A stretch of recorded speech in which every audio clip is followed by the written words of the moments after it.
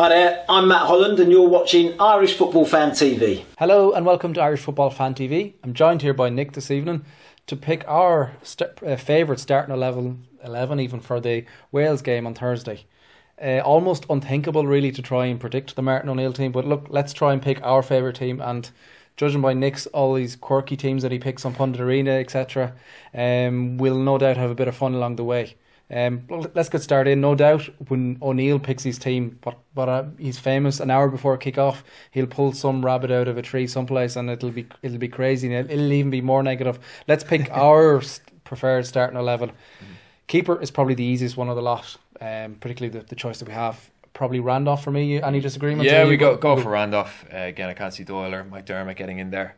Great to see McDermott in the squad. Mm-hmm. Tracked him a little bit. I think there was a bit of bit of word on him maybe coming into the squad a few months ago. So it's, it's good to see him coming in. But yeah, Randolph hands down. Yeah. Right. Um, I suppose what Martin O'Neill wants to do and what we want to do are probably two different things. But yeah. the defensive line here is probably going to put the structure really on the team. Mm. I'm probably leaning towards just because I don't think it's our best position. I think it's mm. just because we have to make use of the resources that we have. Mm. I think we need to go with a back three. Yeah, um, yeah, and try and get some of those centre halves in there. So I'll let you yeah. let you shout away. Yeah, no, I, I agree because if you look at the last, I mean, if you look at the, the Turkish game and the US game, he, he's played three at the back.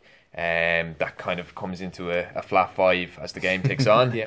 So um, yeah, I think to make the most of what we have, yeah, he has to do that because if you look at our, our two biggest attack, attacking threats in the squad, it's probably Seamus Coleman and uh, James McClean, and you know that's a per- it's the perfect position for McClean. Sorry for Coleman and McClean. I think he will grow into that. Like he's very aggressive, good defensively.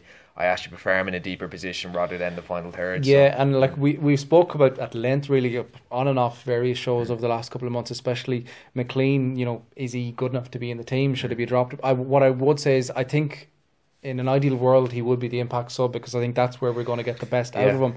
But if he is to start, I think wing back potentially mm. is his best position. As you yeah. said, you need him running from deeper. You mm-hmm. need him where he's just he sees a channel in front of yeah, him. He's, yeah. he's running into that, and mm. he almost doesn't have to think. And it's just his pace mm. and aggression and everything that goes into play.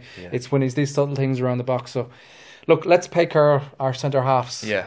Um, I'll start it off. Long gets in there for me. Yeah, yeah, absolutely. Um, you shout ahead after this. Uh, Clark, I suppose, yeah. left left yeah. of him. Yeah, yeah, yeah. And the third one. I I go Duffy. Duffy right of Long. I think it's just a better better on the ball than, than Long. Yeah, like well, d- d- like Duffy has turned into almost a player that you didn't really think would, but fair play to Chris Hughton. He's got him into a very accomplished mm. um, I'd almost say ball playing centre half now at the moment. Yeah, yeah. Um, he's he's gone. He looks so composed. Mm.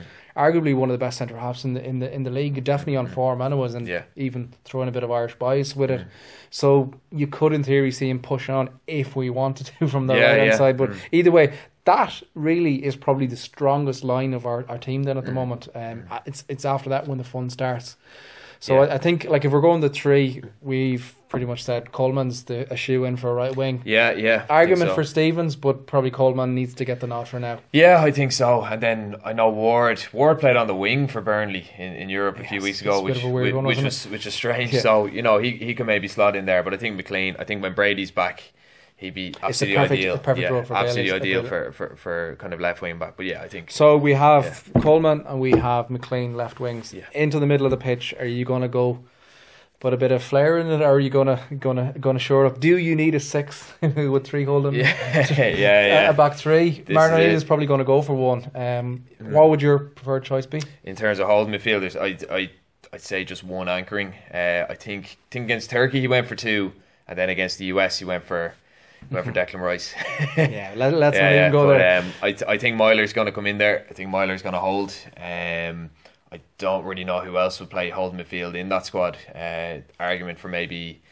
Shaun Williams, but Mm, that's a bit mu- bit much, yeah. isn't it? I think even him getting into the squad is a, is a bit of a push. So, um, So yeah, I think we've Meyler. we've Meyler ahead. After this, Hendrick surely gets in. Hendrick, I think, on the right, um, you know, if you look at him coming through the ranks of Derby, his best position was kind of on the right of a midfield three. I don't think he's gotten too many opportunities to do that for Ireland.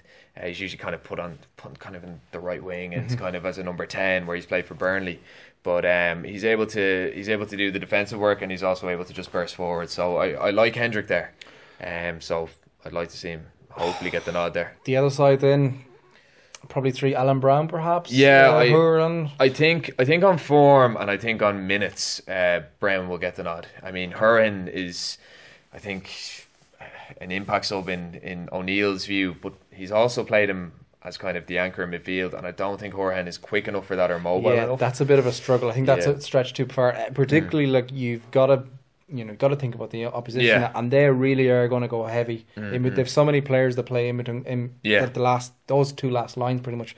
You have Allen who loves to zip in and out. Ramsey Mm. loves to zip in and out. Even Bale, to be fair, he can zip in and out there as well. Mm. So I think, I I think, I think Hourihane just sitting is almost It's- a recipe yeah, for disaster. Yeah, if you're gonna play him anyway, anywhere, he's the he's the play on the left of a three, I think. So it'd be nice balance with him and uh, Hendrick, but I think given given Browne's form, I don't I don't fancy Browne at this level, and I hope I'm speaking too soon because I think he could either be phenomenal, but going on the French, look, it mightn't be a good match to go on, but going on the French match, I thought he looked completely out of his depth. Yeah, Uh, look, that's world champions, so that's fair enough. Yeah, fair enough. But um, I, I, I think I think looking really good in the championship and looking really good in an Irish jersey is, is two completely different things. I like Browne, but Yeah, scored again at the weekend as Yeah. well. So, yeah, it's a, it's a toss up. Really, I would probably lean towards Browne as well. yeah, yeah, we might probably agree with that. Then up front, it's where we're really, really diminished in terms of options. yeah.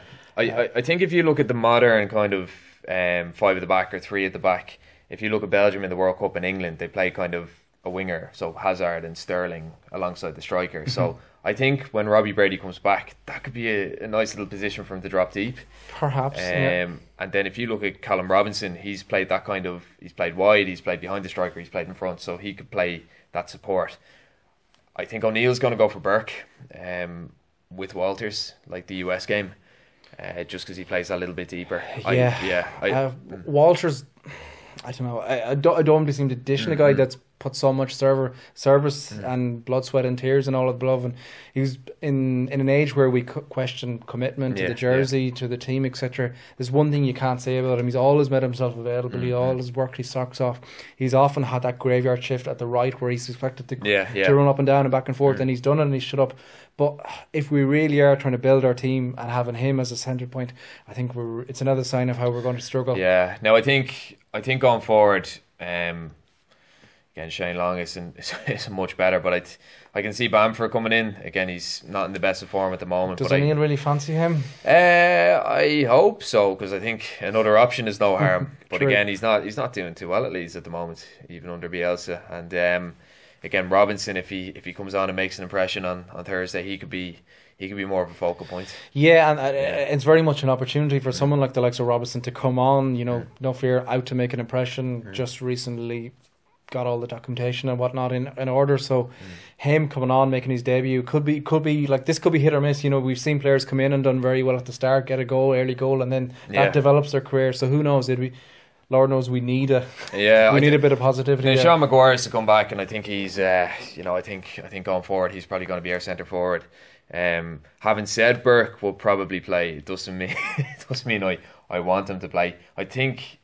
Do you remember what I said about kind of the winger playing up front? I think Callum O'Dowda could could do well a little free roll behind, maybe. Yeah, Maybe the the, the, the, Walters, struggling yeah. thing really is in the Martin O'Neill team. If you have somebody playing that role, Mm. it's fine in club football. We were playing a bit of attacking Yeah, football, yeah. yeah. but with Martin O'Neill, they just get dragged back. Yeah, yeah. and it's just hump, hump, hump. Yeah, yeah, Um, That's the only concern I would have. I do like that idea, um, and I think I think Ireland could do very well there. But I will. I'd probably go for Burke. I think he he's on that level of Yeah, yeah. positivity that we spoke around, Mm. and ultimately it has to be Walters after that. Almost sadly, yeah. but he's the only centre. Yeah. Well, Robinson's playing centre forward at the moment, but he's more of a wide man. So, yeah, probably Walters.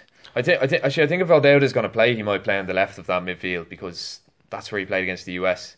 Kind of a, not really his position, but O'Neill seems to fancy him yeah, as there a we central go. midfielder, which There we is which Well- is a bit worrying. Indeed. Well, that's been our preferred uh, um, starting level.